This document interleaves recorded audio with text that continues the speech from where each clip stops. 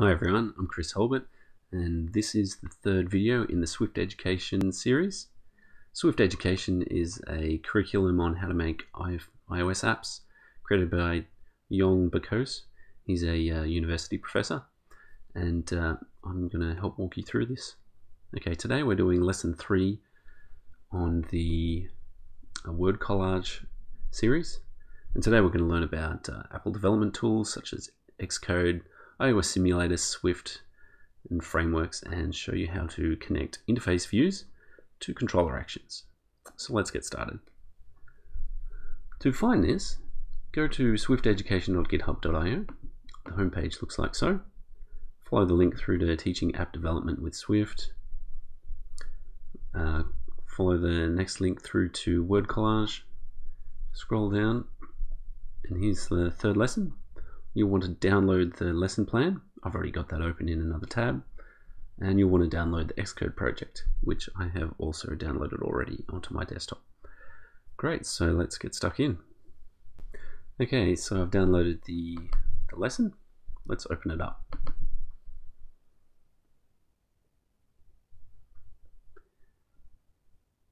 Here we go. Let's open up the storyboard.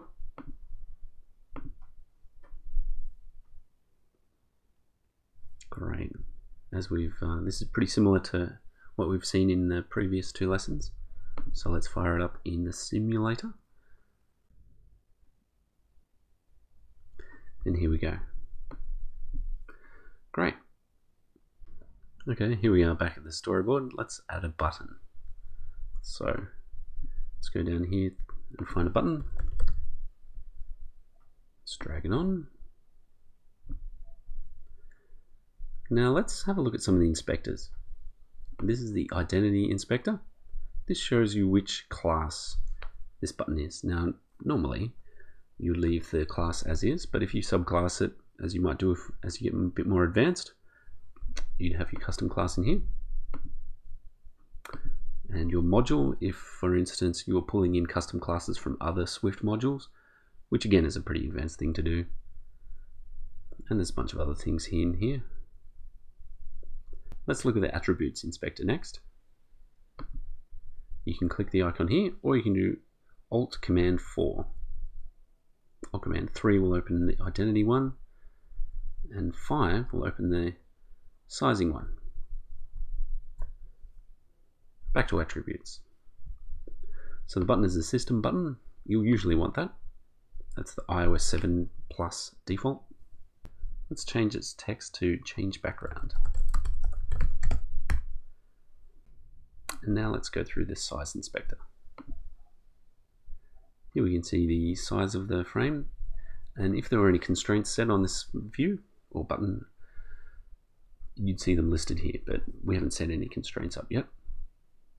But for instance if we were so inclined we could manually override the, the positioning here, the X, Y, width and so on. Let's make the width. There we go you can do that. Generally, you'll probably want to stick to changing constraints. Now, if we run this, you'll see that the button isn't really positioned correctly. This is because we haven't set any constraints on it. So here it is hanging a bit to the right in portrait mode, and in landscape mode, it's kind of hanging a little bit to the left of center. So let's uh, sort that out. Now here's a way you can also set constraints rather than the buttons down here. You can right click drag or if you don't have a uh, two button mouse, control drag from the button to its super view and you get a bunch of options. If you hold down Alt, you get even more options. So I'm holding Alt, I let go of Alt, holding, let go, you see what I mean. So let's make it have a bottom space to the bottom layout guide. Now that has created, as you can see, a constraint that ties it all the way to the bottom. It has also got this constraint to the left, or this dotted area to the left. This is saying where I really want to be because that's where my constraints say I should be. And that's all the way to the left because we haven't given it a horizontal constraint yet. So let's give it a horizontal centering. Click on the align control. We will horizontally center it, add the constraint. And now you can see it's a bit orange. Let's click here. It says misplaced views. So we click there. This is the view that's misplaced. Click on the resolve auto layout issues button. Now, nothing comes up. Is because we have to click on the button over here first. There we go. Now it's all centered. You've got no auto layout issues. And you're golden. So let's run that. It's all centered nicely. However, when you run it in landscape mode, the constraint pushes it so far up. See how the constraint pushes it about yay high? It's pushed it so far up that you can't actually see it. So let's fix the vertical constraint. So we can go to the size over here, the size inspector rather. And here is the constraint we're interested in. Now the bottom space to the bottom layout guide is 380. Let's make that a bit more reasonable. Let's make it 40. Now we are always going to be 40 from the bottom. Let's see how that looks. Now you can see it's at the bottom, centered, and same when you rotate. Beautiful. Now notice when you click the button, it kind of dims a bit to indicate that it's you've tapped it, but nothing actually happens. That's because we haven't hooked it up. So this is a good time to run you through how apps work together. We've just been playing around with the user interface for now, but what we need to do is actually make this button do something, and to do that we need to start coding. Now, iOS apps, up until about a year ago, were written in a language called Objective-C, which was quite a simple object-oriented programming language from, I believe, the 80s. But as of about a year ago, Apple released Swift to the world, which is a much more modern language. It's very friendly and it's actually grown on me quite a lot over the last six months. I'm a huge fan of it, and uh, that's what we're here to learn today. So let's have a brief look at that. So this is um, what is known as the app delegate. The app delegate, think of it as a person who coordinates the app. Think of it as like the fat controller of your app. If you used to watch a certain show that had trains in it. A view controller is basically a screen and the code behind a view controller is the code that controls that screen. Other pieces of the puzzle when you're making apps are Cocoa Touch. Now Cocoa Touch is also known as UIKit and it is all the parts that Apple have brought to the table that let you make apps more easily. For instance, a button is part of the Cocoa Touch world. Um, a view controller is Cocoa Touch. These are all the technologies that make an iOS app separate from, say, a Mac app. So a Mac app uses Cocoa and an iOS app uses Cocoa Touch. They would both use Swift, so a lot of their code would be similar. For instance, they would all have functions, they would all have classes, but things such as a view controller, that's part of Cocoa Touch. Other things you've got, there are instruments,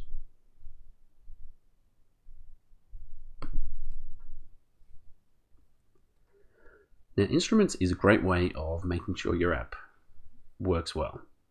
Now, a lot of developers don't actually use it, so you'll probably be familiar with the concept of downloading an app from the App Store and it crashes. If they had used instruments, they'd probably be in a much better position regarding that. And instruments basically lets you run your app with a bunch of dials connected, kind of like a heart rate monitor that uh, monitors what your app is doing and lets you just make sure you've done all your coding correctly. So, for instance, the most common thing that people will do with it is use it to make sure that it's not leaking memory. Now, memory, if you leak memory, your app is going to eventually crash. So that's a very common thing. And you can also use it to make sure that your app is efficient by using the time profile. And there's a whole bunch of other things you can do. Here's the iOS simulator. We've seen this before. This lets you run apps locally on your on your Mac a lot more quickly than having to copy it to a device to test things on. However, of course, you're going to want to test on a device sooner or later. But in the day-to-day um, work of creating your app, the simulator is going to save you a heck of a lot of time. So you'll spend a lot of time working with the simulator as well as Xcode. Now Xcode ships with a compiler called Clang. Clang is built on top of LLVM, and both of these are parts of the whole compilation toolchain created, well, created by a team headed up by a guy called Chris Lattner. Now he's a bit of a genius that Apple has hired to um, make sure all their developer tools are top notch. And um, among other things, he invented Swift, so he's a pretty clever guy. Finally, let's talk about MVC. Also known as Model View Controller, this is a rough guide to how you should structure your app. Your app should consist of three things. Uh, firstly, M for model. Model is anything such as data, anything that is, isn't user interface. So things such as your database, talking to a uh, remote server, talking to a API or something like that. These all go in your model layer of your app. V stands for view. Now your view is anything that's visible your views are allowed to talk to controllers and keep your views as simple and try to make sure that they don't know anything about your model. And your controller, this is used to bridge between your models and your views. So think of your views as what the user can see and your model as anything important that the user can't see. And think of your controller as anything that grabs data from your model and puts it on screen into your views. So here's a view controller. And you'll have other kinds of controls as well, but your view controller is going to be the main one for that. So that's MVC in a very, um, very summarized form. Okay, now we're going to hook up the button to some code. So what we need to do firstly is open up the storyboard, which I've already done, and we'll need to open up the assistant editor. You can click this button here to open the assistant editor, basically it lets you open two files side by side. Now we'll get rid of the, the navigator. So we've got a bit more horizontal real estate. Now what we can do, this is the view controller that it controls the code that is behind this, this user interface. So we'll drag, control drag or right click drag from the button into the controller, let go here, and create an action an action is a bit of code that runs whenever you tap it. An outlet allows you to have an object that links through to the visible button. But action is what we're interested in here. Let's call the action change background color. Notice we're using a thing called camel case. Now, it's a bit contrived, but uh, you know how camels have humps? Well, here's the low, lower part of the camel. Here's the hump of the camel. Here's the camel going low again. Oh, it's a dromedary camel. It's got another hump and it's gone low again. That's what camel case is. Now there's two types of camel case. Lower camel, this is lower, or upper camel. Um, we use lower camel case for function names in Swift. Let's make that connection. So here we go. We've got a button, a function that is connected to our button, and it'll get called whenever you tap that button. You may notice in this function, it's got an at IB action.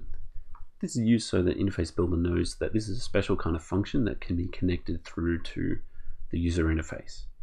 It's essential. If you got rid of it, things wouldn't connect up properly, so make sure you leave it in there. Now we're going to make this button actually do something. So what we want to do is change view.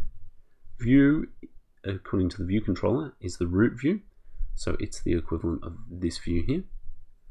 We can set its background color. Let's set it to UI color. Let's set it to purple. Great. Let's run this and see what happens. There you go, it's all gone purple. Great. Now, let's experiment with the API reference. If you do Command Shift 0, it'll take you to the documentation. And so let's search for UI color.